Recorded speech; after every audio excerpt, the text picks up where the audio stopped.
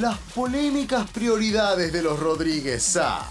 El pasado fin de semana se realizó la primera operación de cambio de sexo en una clínica pública de San Luis. El hospital ofrece los servicios a todos los argentinos y de forma gratuita. Justamente en este punto se instala la controversia. ¿La provincia debe bancar este tipo de operaciones con el dinero de los puntanos? Voy a ser el primer chico trans en la provincia, voy a acceder a la mastectomía. Pablo es un trans masculino, lo conocí en octubre del año pasado y desde allí más o menos programamos la cirugía. Este, después del anuncio que hizo el gobernador en agosto para empezar a incluir las cirugías de reasignación de sexo acá en el, en el Hospital Potrero. Paradójicamente, la medida se tomó en el medio de un fuerte reclamo de parte de los puntanos por las condiciones de salud que ofrece la provincia. ¿Demagogia política? No puedo parir acá. Esa no pudo parir acá. No pudo nacer acá. Estoy embarazada otra vez y no puedo ni parir acá. No queremos Hotel 5 Estrellas. Tuit del gobierno de San Luis. En Merlo abre el primer hotel 5 estrellas de la provincia. ¿Vos no sabés que no tenemos un hospital digno acá? Lo sé y lo quiero solucionar. Se van a asombrar y que por ahí y las coincidencias van a ser más de las que esperan y las lo que van a ser más de las que esperan. Merlo se lo merece.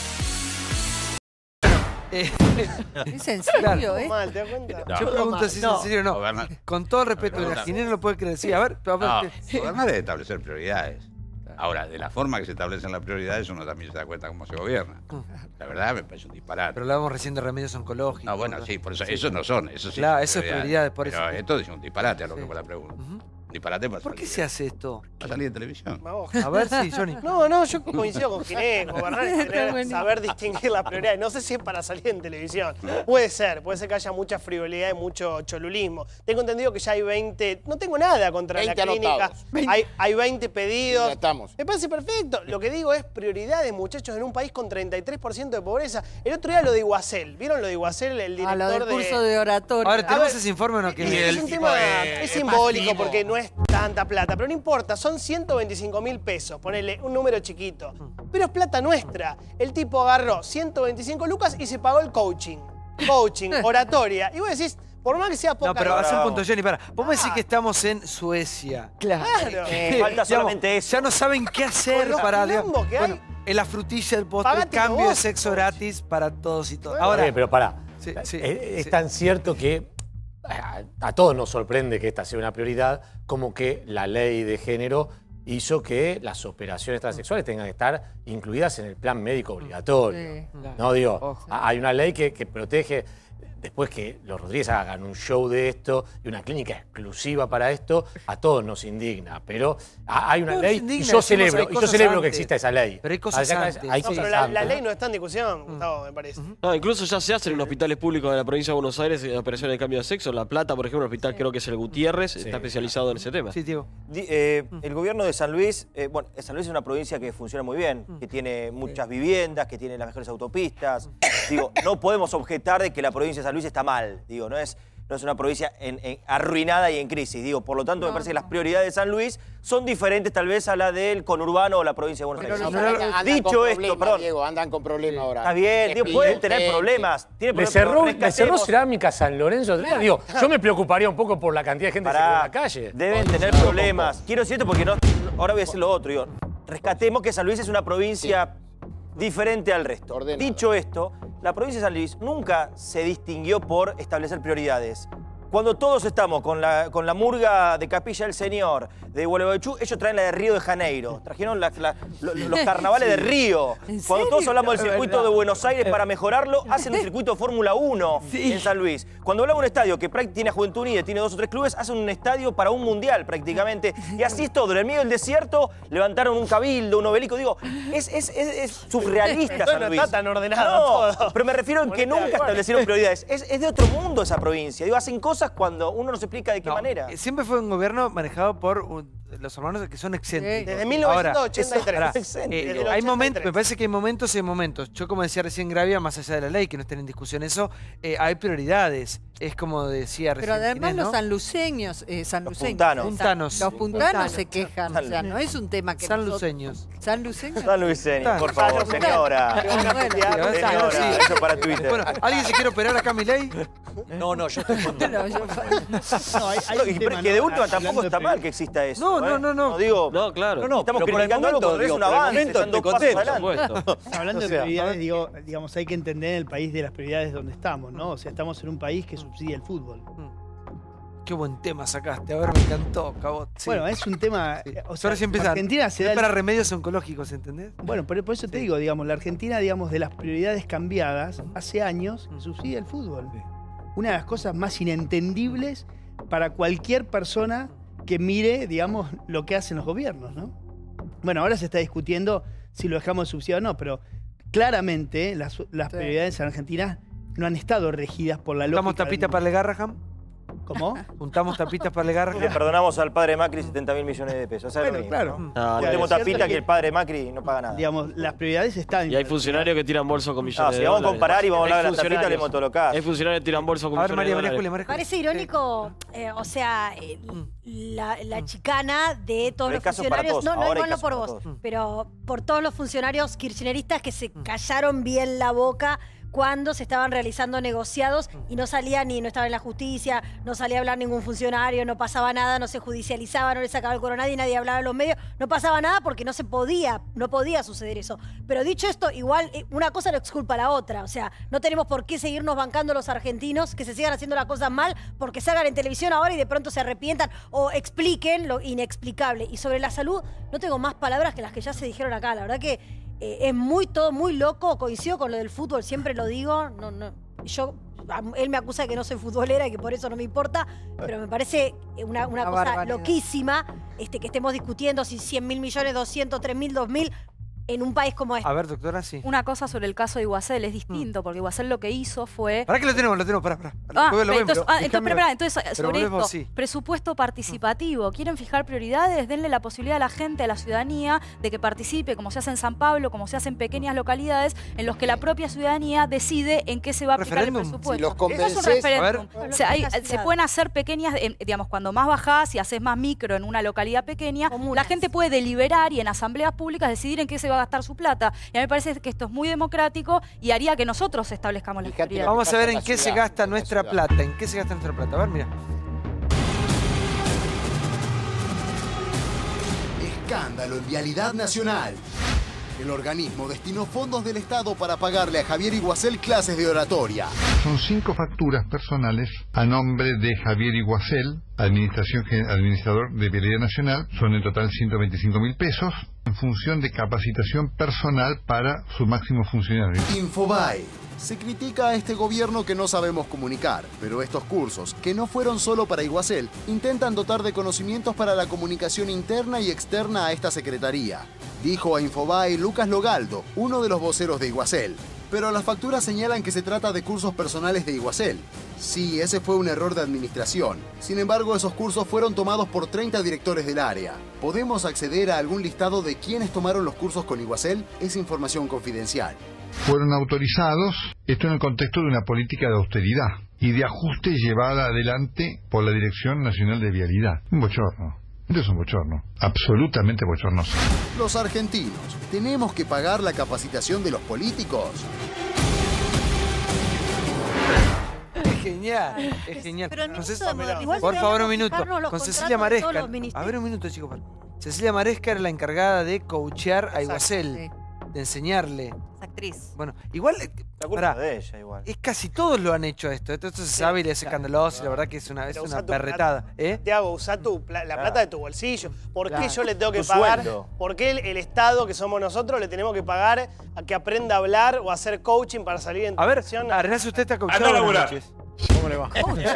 Él vino acá a cobrarse, pero no le cobraron nada. Lo que hice, pagué de mi bolsillo. ¿Con quién? ¿Con quién? No, no, no, no voy a decir Con con, la- quién. Le robaron no, la plata, hice, hice teatro me- para sacar... ¿Qué teatro? Ah, es una ah. técnica. es Ah, una- bueno, no. ¿Usted, Lipovetsky? Sí, con, un- con una muy buena es- actriz. Por favor. Que no la voy a Yo en su nombrar. una momento, actriz. también de mi bolsillo, por supuesto, un poco el tema de la adicción y no hablar tan rápido, sigo siéndolo, no aprendí mucho, pero bueno, un poco eso, pero fue un tiempo. Pero también lo pagué de mi bolsillo. Es un curso acelerado. Venir a Intratable es un curso acelerado de coach. Daniel. De todos modos, lo que a mí me parece una contradicción espantosa realmente es que la semana pasada el ministro de Modernización anunciaba que van a hacer una reducción de la planta de empleados públicos, que van a pedir que todos los empleados públicos se capaciten, que entren por concurso, que hay que reducir los gastos. No. Bueno, pero entonces, a ver, señores, ¿cambiemos o continuemos? Porque Cursos no de se seis días. Sigamos. Está Javier. Pará, periodista. una, una, una Chicos, cosita. cuando hablo yo se callan la Pero boca. una Sí, cosita. por favor, un minuto.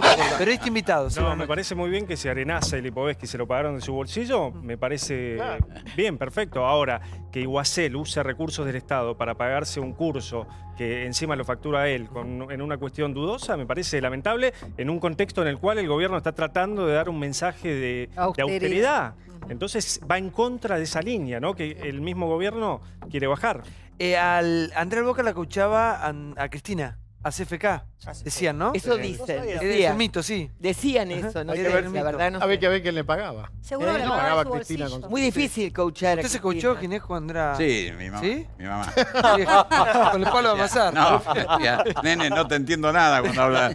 En No lo la puede Asociación corregir. de Magistrados, cuando cambió el procedimiento y empezaron los juicios orales, hacía cursos de oratoria, de cómo manejarse, pero eran institucionales, era la Asociación de Magistrados, con los recursos que tiene que provienen de, de los aportes que hacen los, los jueces Pero y ¿sabes cuál es el fiscales. problema? Ah, un minuto, mientras sea, mientras con la, la de ellos. Ah, te problema. quedó esa. Eso Por sí. eso, eh, no quise interrumpirlo a Johnny cuando dijo la del Estado, que es la de todos. No, la del Estado es otra cosa. La nuestra es la nuestra. Cuando digo la nuestra es la del pueblo. Mm. Esa es, por esa tienen que vigilar en lo judicial los fiscales. el Vamos a ver si está coachado o no está coachado. eh, el regreso de Hannibal. Ahí lo tiene. Ese no necesita. Miren quién volvió. Aníbal Fernández. El regreso. El dirigente kirchnerista estuvo ayunando y afilando sus colmillos. Volvió más hambriento que nunca y le tiró tarascones a todo lo que le sirvieron en la mesa. Solo le importa que sea carne política. Yo no tengo ninguna duda que el gobierno este no tiene como vocación resolver los problemas de los pibes en cualquier lugar de nuestro país, sobre todo de pueblos originarios. Massa no es el peronismo. Debo reconocer que construyó un espacio, entonces su espacio hace lo que se le antoja, pero ese espacio no es peronista. A mí me parece que estamos asistiendo a una situación de una degradación de la democracia importantísima. Nosotros dejamos la OJ, como se llama en términos técnicos, como se dice en términos técnicos, las escuchas en cabeza del Ministerio Público, no hubo ninguna filtración. Alguien va a tener que pagar la vuelta en bote, porque alguien de ellos fue el responsable de que saliera una cosa de esta característica. Pero te doy otro dato, no solamente eso es una porquería, sino que hay cosas que son evitadas. No te olvides que el presidente asumió procesado por una escucha de esta característica. ¿Macri manda a escuchar a Cristina? Yo no tengo duda que Macri, está, eh, o Macri y su gente, a través de su gente, está mirando, está escuchando lo que está pasando en este tema. Pero ahora podría ir preso, Perrini. Pidieron la detención. Y bueno, yo estoy convencido que, la- que esto no va a suceder. Eso es, una- es un nivel de desquicio superlativo. Que la hagan venir a Cristina a 2.500 kilómetros para que este, le tomen los las huellas digitales con tinta y después le digan que encima salieron mal. Es burlarse. Las invenciones que las han hecho hasta este momento son tan burdas. Lo de Otesur, lo de, lo de los sauces, lo de el dólar futuro, es poco serio. eh. Todas estas chanchadas que sabemos que se hacen, pero va a terminar como tiene que terminar en nada.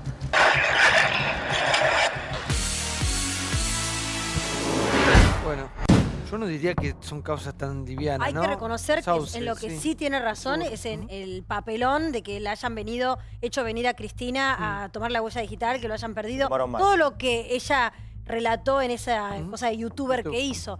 Y todo lo demás, bueno, es, es un clásico de Aníbal, ¿no? O sea, subestimar cualquier causa como si no hubiese pruebas, como si no hubiese un procedimiento, como si no hubiese una instrucción, como si no hubiésemos visto los papeles, como si no existiesen los contratos, como No, si no, no, no, no, hubiese no. pasado nada, ¿no? Negar, negar eh, hasta la muerte, hasta el hartazgo. Es como una técnica que tiene. Me parece que ya todos los argentinos sabemos las cosas que son infladas y las cosas que efectivamente se están investigando. Siempre insisto con lo mismo. ¿Cuándo nos vamos a enterar el final del proceso judicial y de la investigación, no? A ver, Diego.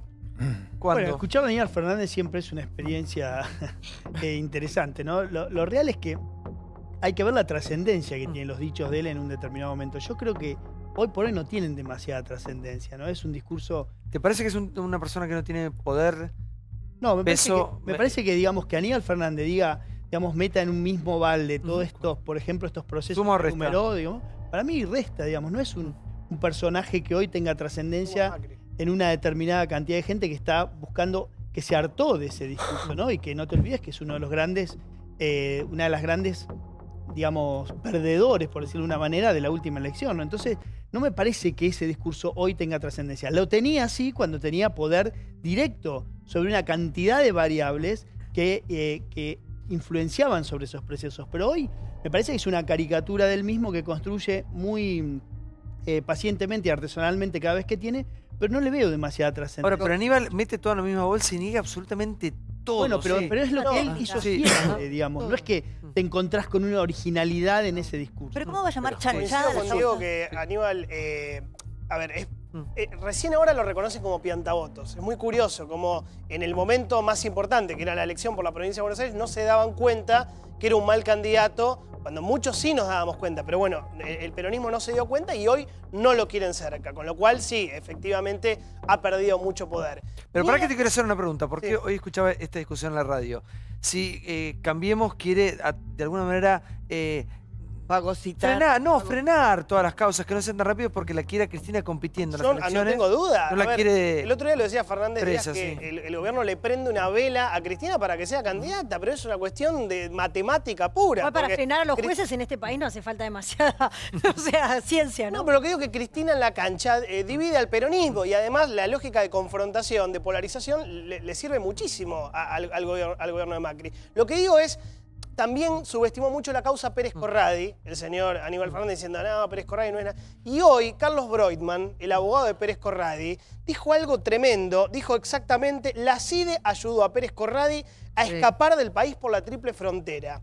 Fueron miembros de la CIDE los que le dieron un DNI, contactos, y le dijeron por dónde tenía que salir y cuál era la puerta migratoria. O sea, tendríamos dos grandes problemas. Lo ayudaron a irse y cuando Parrilli, según la justicia, tenía la información, no lo fueron a buscar. Una Ahora, ¿cómo va a maravilla, llamar chanchadas a todas las causas judiciales? Justamente hoy, cuando se conoció que este, el, el doctor Casanelo y el fiscal Marijuán consideraron ya aprobada la primera etapa de instrucción respecto de la ruta del dinero K para pensar en la elevación de esa causa juicio oral. Es decir, la Rosadita, ¿se acuerdan? SGI, el dinero que salía a través de la financiera, el Betic Service Group, cómo reingresaba a la Argentina a través de la compra de bonos del Estado.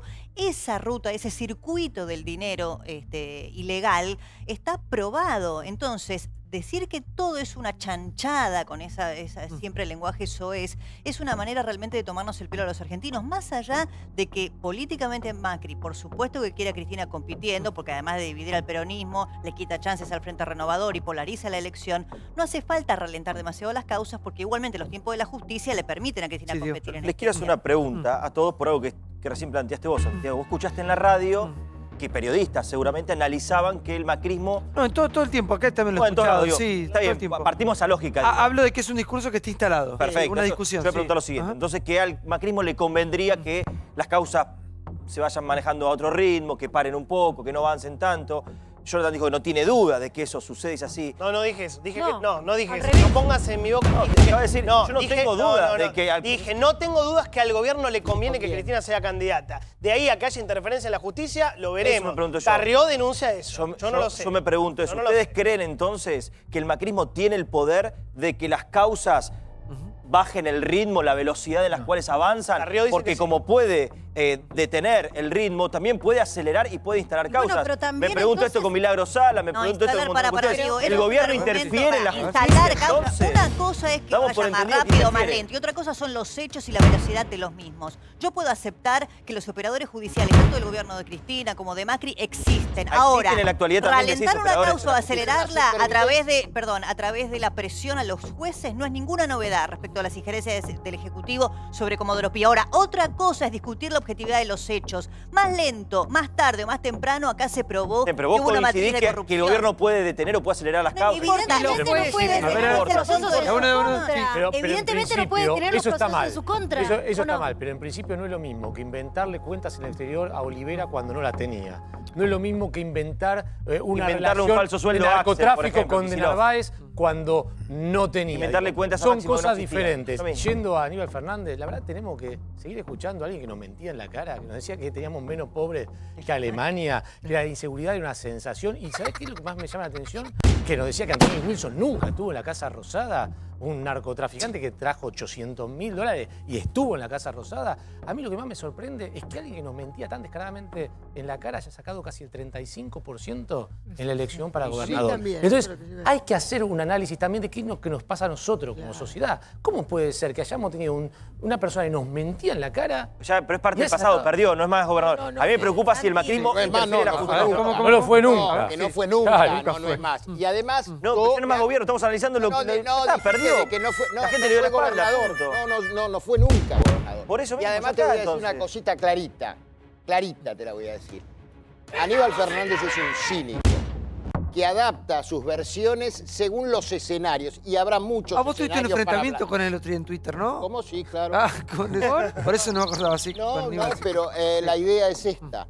Todavía tiene que explicar, él que se da del primer peronista, ¿sí? Lo acaba de decir, tiene que explicar por qué un día dijo que la marcha peronista había que metérsela en el culo. ¿Me lo podés contestar vos?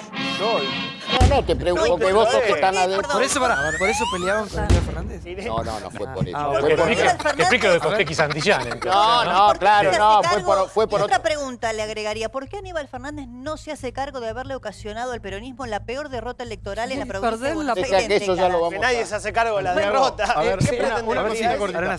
En primer lugar, si un juez recibe presiones de algún funcionario del gobierno que sea, ese juez tiene que denunciar al funcionario. ¿Qué es lo que pasa en la Argentina con muchos Pablo, jueces? no- no pasa que se callan la Se boca. ríe la doctora. No, pero de- Qué debería, ingenuo. debería, debería, debería, No seas.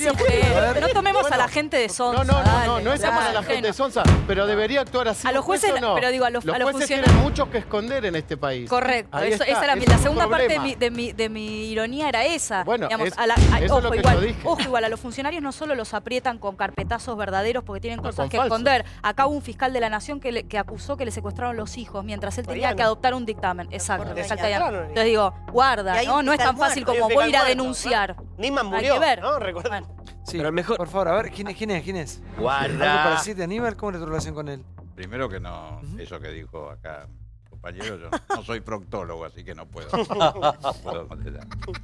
Aníbal es, es Aníbal, y esté en la buena o en la mala, sigue diciendo lo que piensa.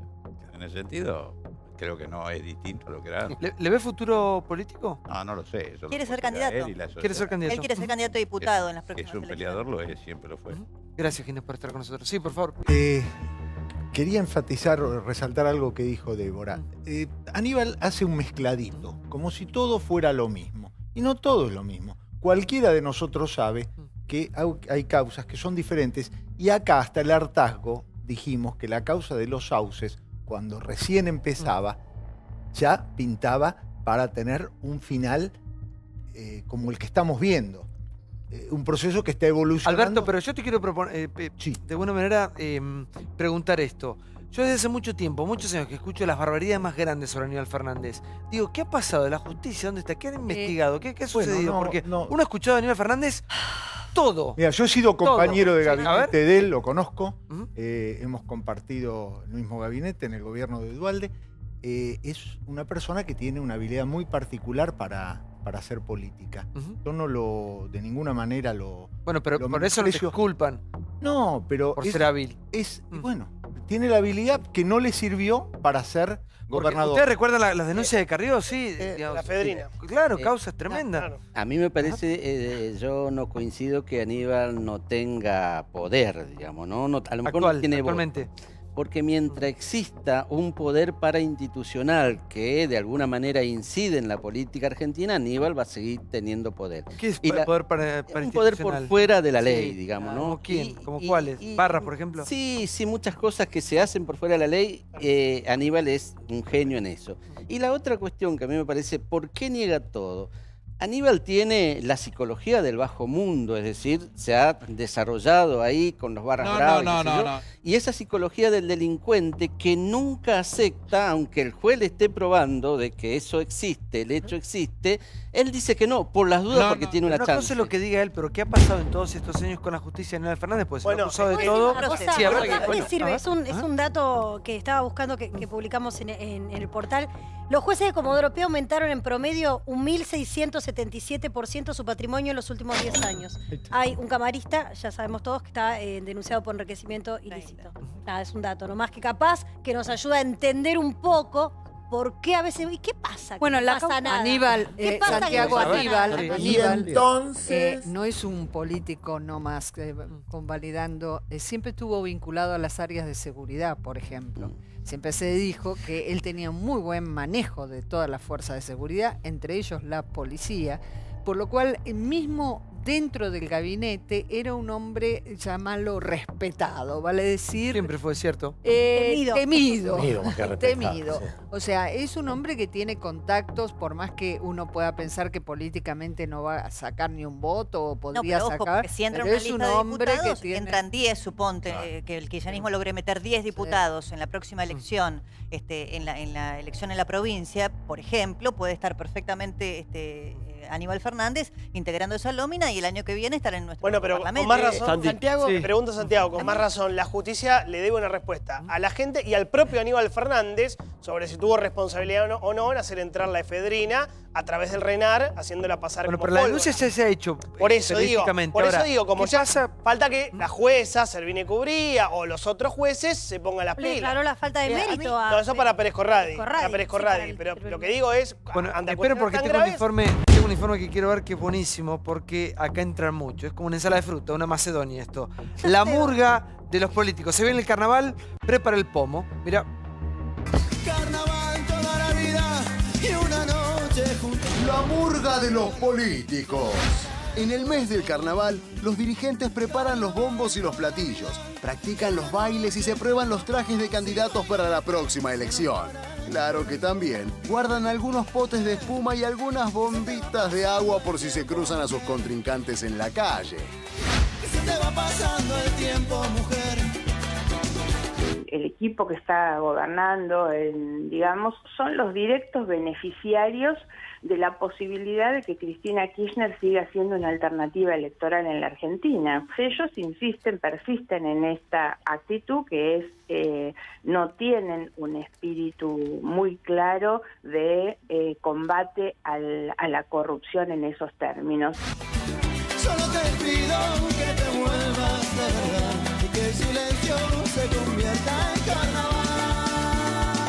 Yo no pago, no pacto con, con, con la impunidad de nadie, ni de Scioli ni de nadie. Yo no construí mi vínculo con la gente, ni mi trabajo en función de la denuncia. La denuncia es una responsabilidad que tengo como funcionaria y la tengo que hacer siempre. No es el tiempo de definir candidaturas, no se trata de si yo la quiero o no la quiero acarrear en la provincia, se trata de que este no es el momento de cambiemos de definir candidaturas.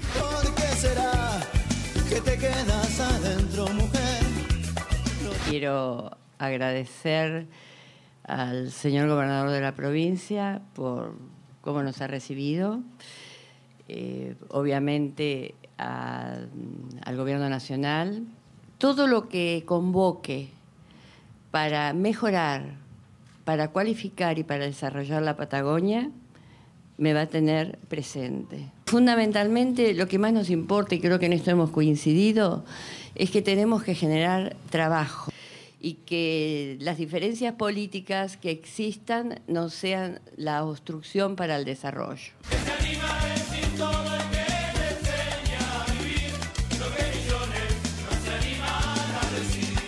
gustaría que Cristina vuelva a ser candidata si decide volver a pelear la presidencia. En 2019. No. Que así como respeto a aquellos que consideran que Cristina puede ser candidata, también respeto a los que dicen que no puede ser candidata. Muchas veces escucho decir, bueno, pero está terminada, su suerte está echada. Yo no estoy tan convencido de eso. Cristina Fernández va a ser candidata a senadora por la provincia de Buenos Aires en octubre y las encuestas la dan ganadora a Cristina Fernández.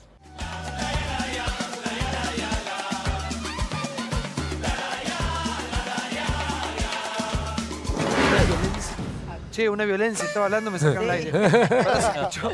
Un nivel. Bueno, eh, para todos los gustos, así están nuestros políticos en campaña. Vamos a separar el caso de lo que está pasando con la gobernación de Alicia K. Su provincia. eh, Sí, destrozada. Sí, Alicia Kirchner tiene la provincia eh, con un déficit fiscal altísimo, entonces lo que tuvo que hacer es ir a pedirle a Mauricio Macri que afloje, ¿no? Por eso la viste en una postura totalmente distinta a la del año pasado. Acordate que el año pasado, cuando eran las reuniones grandes de gobernadores, la única que faltaba siempre era para Ahora, diferenciarse. ¿y ¿cómo están los números hoy?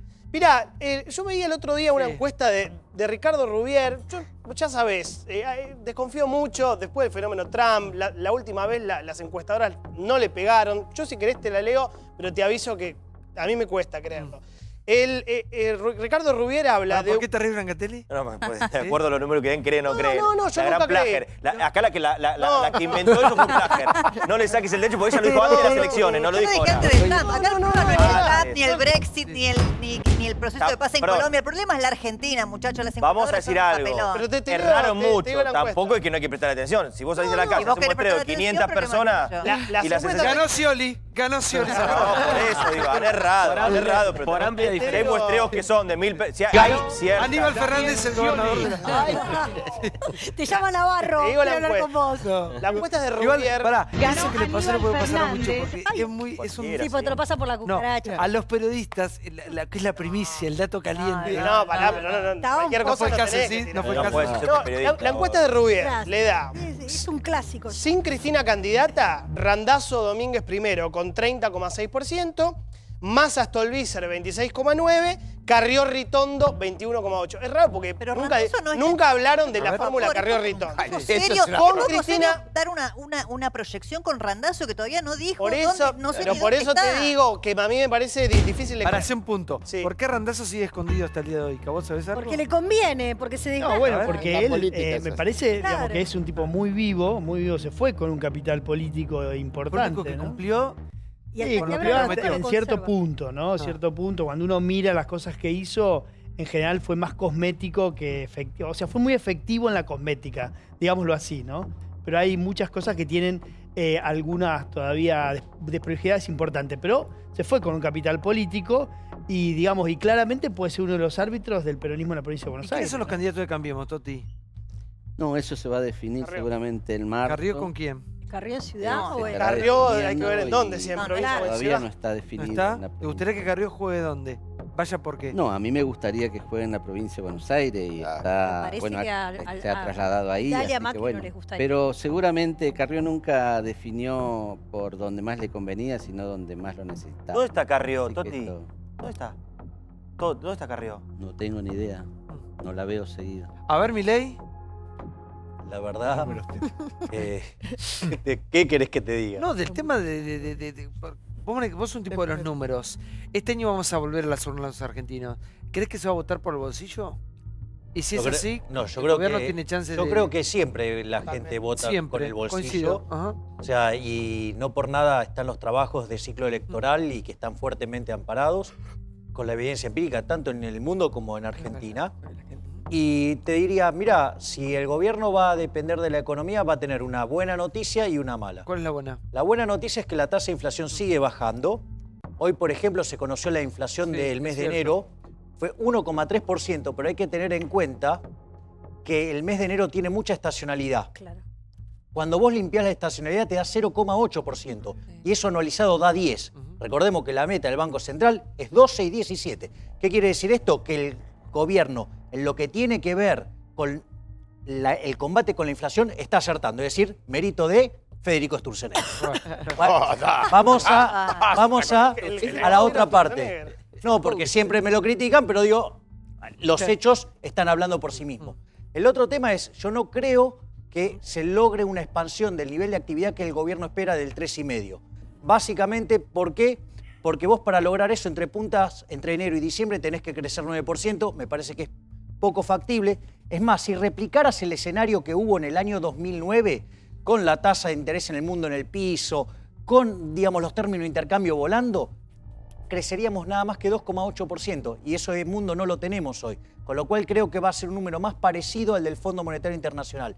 Y para que se Dos, empiece a sentar, sentir, pero poquito, la economía tiene que crecer arriba de 3,5, de arriba de 4. Falta para Y no lo vamos Sí. a lograr. Y va además a ser eh, miserable en materia de creación de empleo esta recuperación. Vamos al siguiente tema. Patagonia Rebelde intentaron agredir al presidente Macri en el sur. Mirá.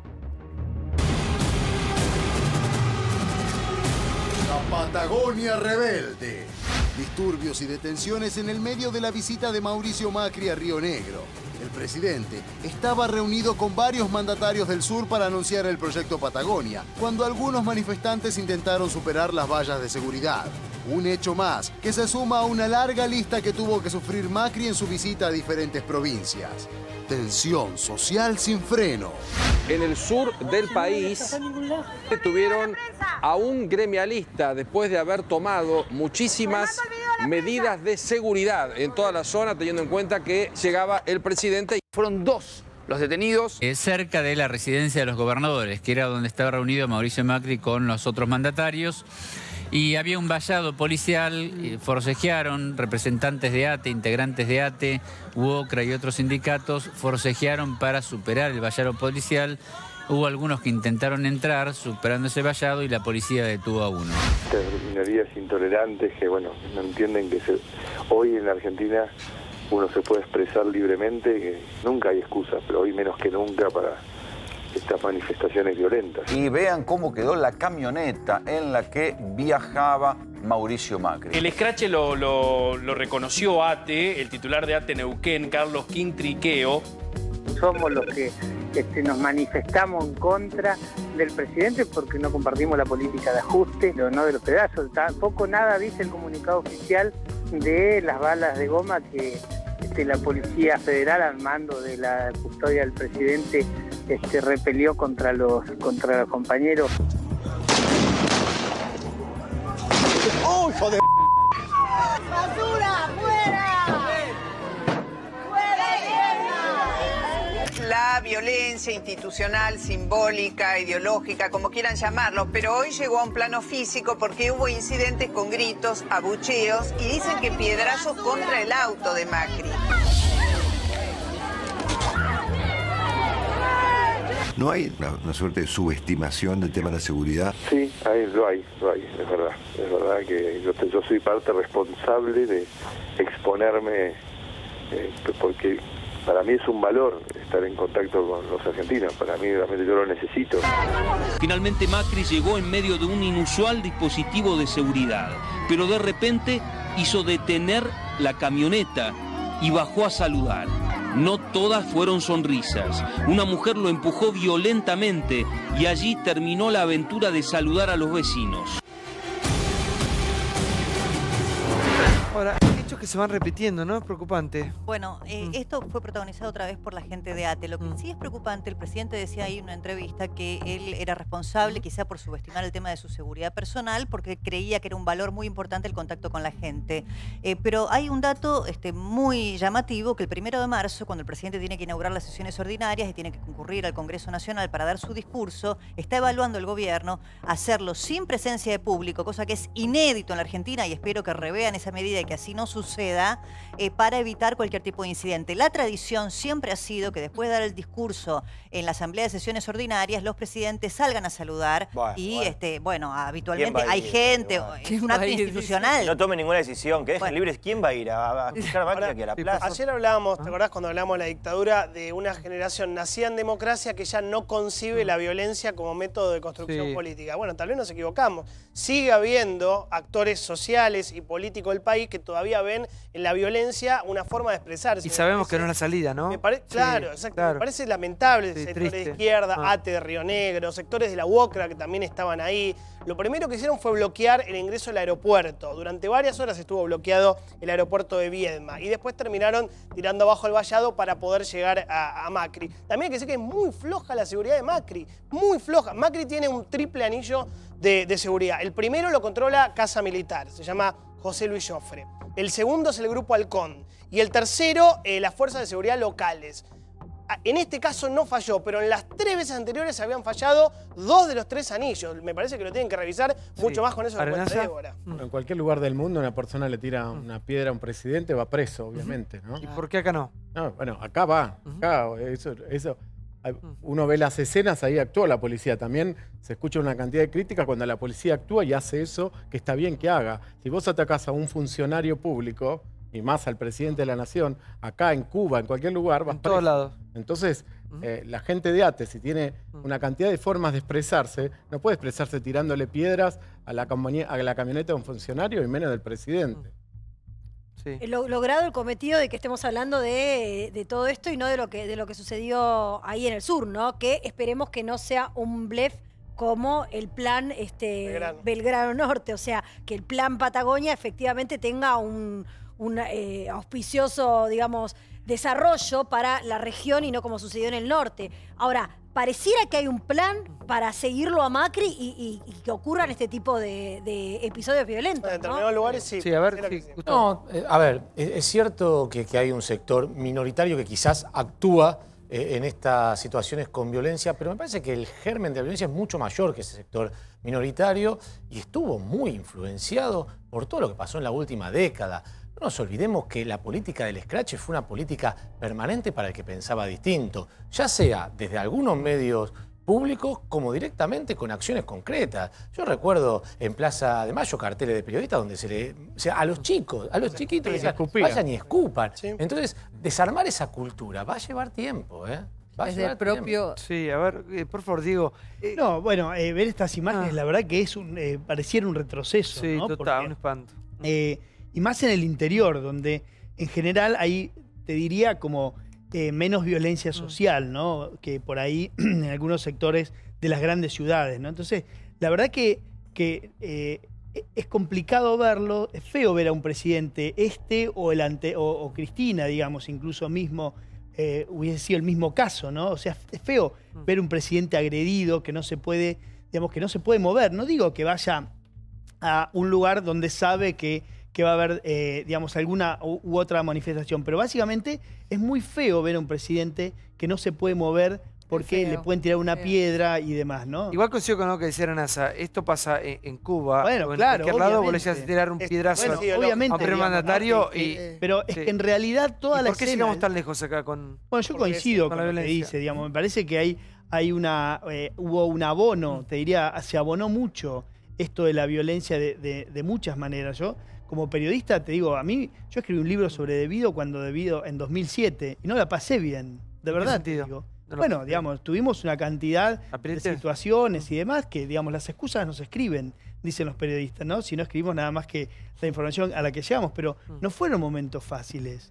Digamos, hay mucha gente hoy, te digo, me pasó hoy, para cuando estuve consultando a gente por el tema de, de, de- de, bueno, lo que hablamos al principio, ¿no? Del tema, el famoso tema de, del concurso del correo, que hay gente que prefiere no opinar, pero no porque tengan miedo de lo que les haga el gobierno o, en su caso, eh, el kirchnerismo, sino por este escarnio público que hay muchas veces en redes sociales y demás, y descalificaciones fáciles y te digo, y adjetivadas. Entonces, realmente es una sociedad que la- realmente hay mucha violencia. Igual, mí es un y, lo, temón una- ese, y lo que vos eh, decías, eh, digamos, es feo ver al presidente agredido y es feo ver a un manifestante detenido también, digamos. Toda la escena, la composición de ese cuadro es, un retroceso. Igual yo, yo no, yo no- yo no- yo no hablaría de, de sociedad, por empezar. ¿Sociedad Son violenta? grupos minoritarios que hacen esto. No, ¿Sabes no, por no, qué? mirá, yo Porque, te digo por- no. ¿sabes? Pero déjame que hay- terminar una idea. Sí, pero te- ¿Sabés te digo una cosa Porque primero. Yo soy, yo soy una persona que se mueve en la calle, tomo el subte,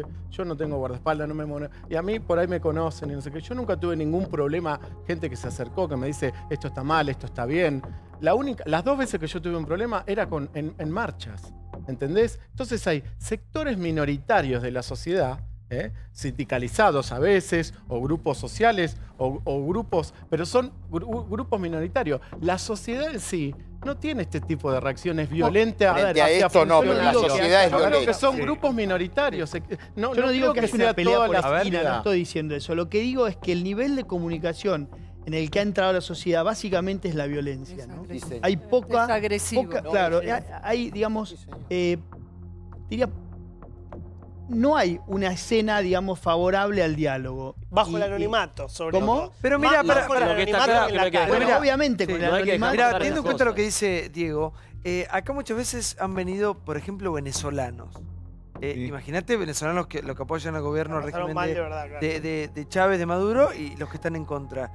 Y ellos discuten, pero con una altura y un respeto, que nosotros estamos muy lejos. Sí, somos diferentes. Ahora, una cosa es la discusión apasionada, el intercambio, hasta la chicana. Ahora, tirarle un piedrazo a un presidente de la nación, sea el presidente del mundo que sea, es un acto gravísimo. Sí, gravísimo. a, a- a Trump le tiraron piedras en, en la Asunción o al auto de él. A- casi- a muchos, Te digo, sí. en cualquier parte del mundo le tiras un piedrazo al presidente y vas preso. Mm. Coincido. En cualquier parte del mundo, un gobierno toma las decisiones que tomó este gobierno y tenés dos millones de personas en la calle. Bueno, pero pero eso es una decisión. Bueno, no hubo dos millones por ahora. Es un grupo, No, es un grupo minúsculo. No es un grupo Es minúsculo. No es un grupo minúsculo. Así como salió un millón de violento es el personas- gobierno. No, Violento es el no, gobierno que te aumenta así la como luz, que te aumenta los así peajes. como la salió un millón de personas a la calle contra el gobierno de Cristina. Violento es el gobierno. No, pero eso, eso es las urnas. Expresarte y otra cosa A ver, es un acto Diego, violento. Diego, Diego, Es interesante, digamos, el No la ejercicio. Es interesante, porque en realidad esa es un poco la chicana que esa es la ideología violencia. acá. Y está bueno, digamos, que digamos, se exponga así cruelmente como la expone él, ¿no? Hay poca ¿Qué, que digo que la gente diálogo. sale a protestar a las calles digo, cuando es lo que están Hay decidiendo? poca posibilidad Es de cruel, diálogo. cuando ¿de qué eso salió, por eso por salió está hablando- Diego, estuviera justificando No, no, que no Diego. mal Está porque hablando Diego. no estoy diciendo hay una barbaridad. posibilidad de diálogo cuando, digamos, eh, o sea, cuando vos hablas con alguien y la única respuesta es la exclamación, eh, bueno, ahí retírate, porque no hay posibilidad de diálogo. Y eso pasa muchas veces en la Argentina, ¿no? Realmente hay una, te diría una, eh, yo creo que hay una saturación de esa, de esa, de ese discurso así violento o digamos de la chispa que bien usa eh, él como para encender el debate y demás, y que yo la respeto, digamos, no la comparto obviamente, pero la respeto.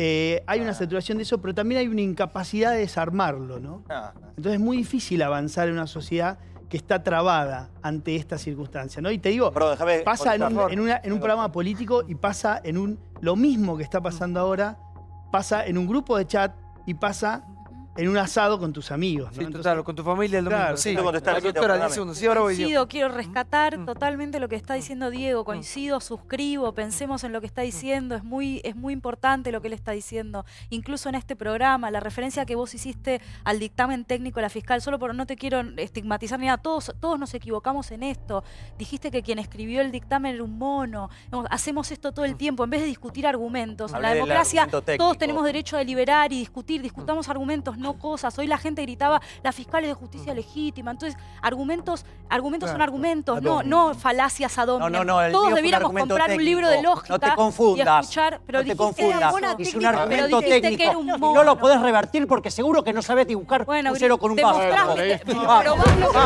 dale, yo quiero verte con un Excel. Dale, te desafío a hacer una fórmula en el Excel. Vamos, te desafío a hacer algo en el Excel. Dale, dale, dale, dale, te desafío a hacer algo Excel. Vamos, no debes saber sumar pare, A ver, vamos, A ver, dale. por favor. Tengo una de Un minuto. Cerra- agresividad sí, solamente prueba mi punto. No, sí, claro. Por favor. Sí, es un disparate lo que estás diciendo. Por favor, Me dejas.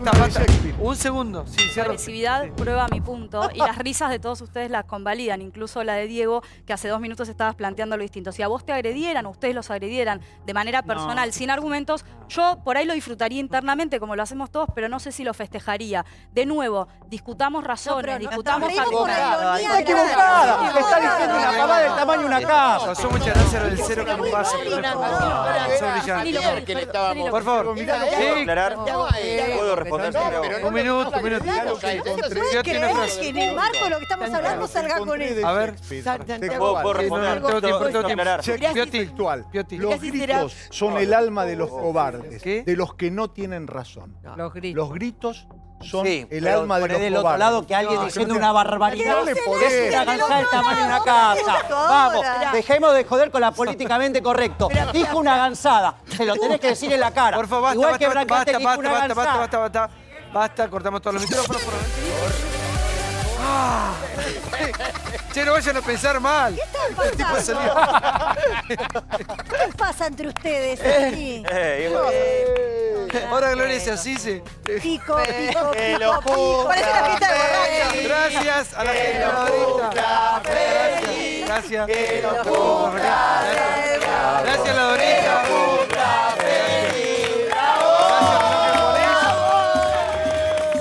Ropa de Liguria como toda la noche. Gracias Liguria. Sigan con los chicos de Infama Recargado. Sigan América. No, Infama Recargado no hay desfile. Sigan con el desfile. Mañana sigue Infama Recargado. Desfile a continuación. Chau.